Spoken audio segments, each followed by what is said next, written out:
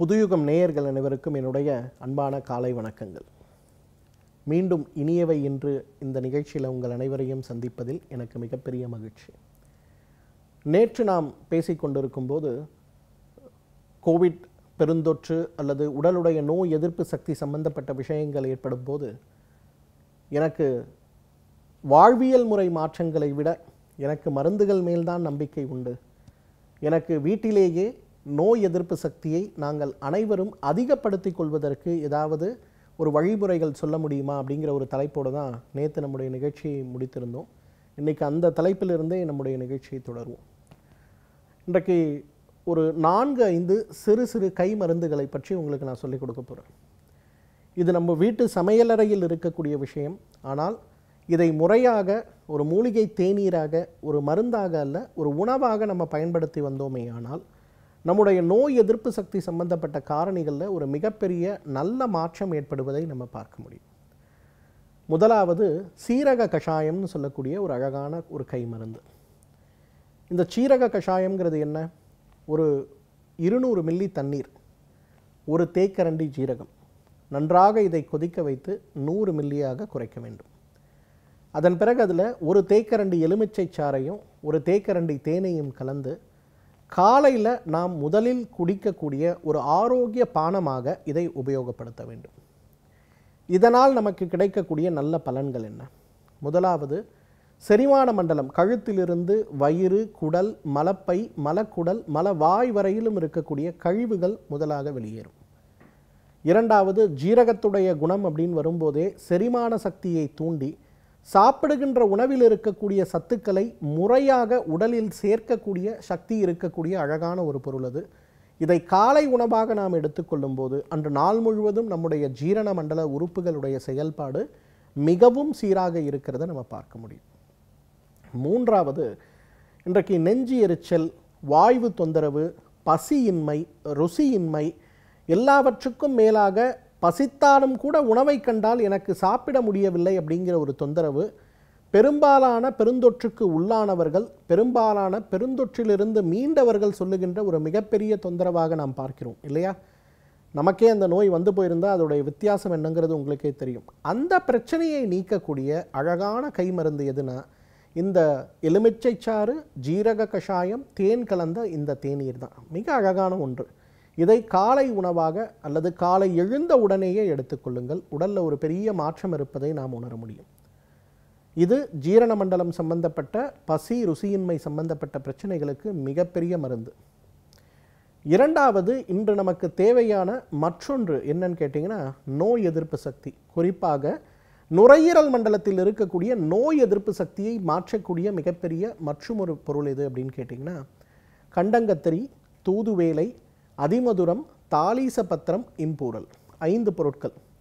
ஏன் இந்த ஒரு கஷாயத்தை ஸ்பெசிஃபிக்காக நான் சொல்கிறேன்னா இன்றைக்கு இந்த பெருந்தொற்று காலம் இருக்கும்போது இந்த பெருந்தொற்று நோய் உருவாக்கக்கூடிய அந்த அறிகுறிகள் அப்படின்னு பார்த்தோம்னா முதல்ல பார்த்தீங்கன்னா இருமல் வறட்டு இருமல் அப்புறம் நுரையீரல் பகுதியில் அதிகமாக சளி சேருவது அப்புறம் நுரையீரல் கொஞ்சம் கொஞ்சமாக அதோடைய செயல்பாடை குறைப்பது பிராணவாயு எடுக்க முடியாமல் கடைசியில் நமக்கு துர்மரணம் ஏற்படுவது. இதுதான் இந்த நோயுடைய தன்மைகள் ஒவ்வொரு ஸ்டேஜாக இதில் முதல்ல பார்த்தீங்கன்னா கண்டங்கத்திரி. கண்டங்கத்திரி எடுத்துக்கொள்ளும் போது நுரையீரல் தொற்றுக்களை குறைக்கக்கூடிய மிகப்பெரிய ஒரு அருமருந்து வறட்டு இருமலை நீக்கக்கூடிய ஒரு அழகான அருமருந்து.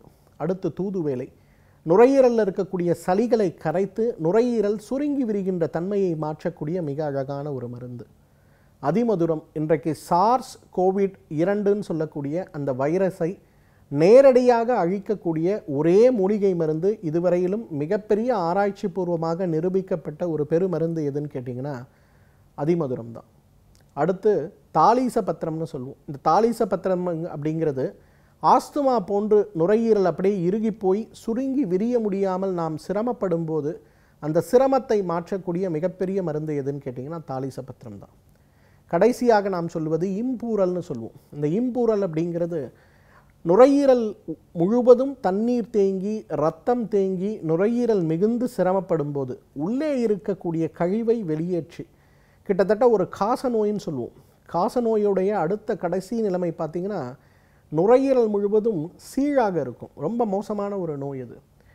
ஒரு நேரடியாக ஒரு துப்பாக்கி குண்டால் பாதிக்கப்படும் போது பெரும்பாலான போர் வீரர்கள் பார்த்தீங்கன்னா அந்த ஒரு பிரச்சனையில் தான் அந்த காலத்தில் உயிரிழப்பு நடக்கும். அந்த மாதிரி இருக்கக்கூடிய மோசமான விளைவை கூட தடுக்கக்கூடிய ஒரு நோ- ஒரு மூலிகை எதுன்னு கேட்டிங்கன்னா இந்த இம்பூரல். ஸோ கண்டங்கத்தரி தூதுவேலை அதிமதுரம் தாலீசப்பத்திரம் இம்பூரல். இந்த ஐந்து பொருட்கள் நேரடியாக நோய் தொற்றை நீக்கக்கூடிய ஒரு மருந்து மட்டுமல்ல. ப்ரிவென்ஷன் கியூர் ரெஜுவினேஷன் சொல்லுவோம். நோய் தடுப்புக்காக உபயோகப்படுத்தலாம். நோயை குணமாக்க உபயோகப்படுத்தலாம். நோய் குணமான பிறகு ஏற்படுகின்ற பலவீனங்களையும் மாற்றுவதற்கு உதவி செய்யும்.